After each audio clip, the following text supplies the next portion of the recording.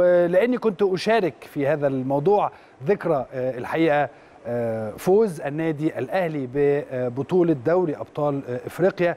ذكرى عزيزة على كل الناس الحقيقة وكل الأهلاوية.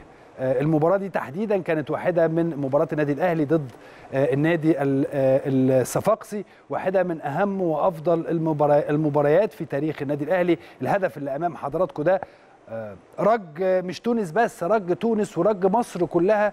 ولما بتيجي تتكلم وبتسمع عن الحكاوي واللي حصل يوم هذه المباراة بتبقى سعيد جدا جدا وفخور جدا جدا بإن أنت تنتمي لهذا النادي الكبير وهذا النادي العريق.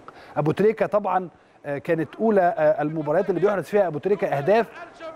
ولكن في الدقائق الهامة جدا دي كانت الدقيقة زي ما حضراتكم شايفين 91 وبالتالي فاز النادي الأهلي بالبطولة الأفريقية الأولى مع هذا الجيل البطولة الأفريقية الأولى مع هذا الجيل من اللاعبين كابتن أبو تريكة وكابتن بركات أو الثانية أنا آسف كابتن أبو تريكة وكابتن بركات وكابتن وائل جمعة وكابتن شادي محمد وكابتن شديد قناوي كل الكباتن الكبار اللي بي كانوا بينتموا لهذا الجيل من اللاعبين وهذا الجيل العظيم داخل النادي الأهلي اللي دائما زي ما كنا بنتكلم وبنقول هو استكمال لأجيال كثيرة جدا جدا وهو ده اللي إحنا اتعلمناه وهو ده اللي إحنا عارفينه جوه النادي الأهلي. الأجيال دايما بتتتابع لغاية لما بنوصل للجيل الحالي.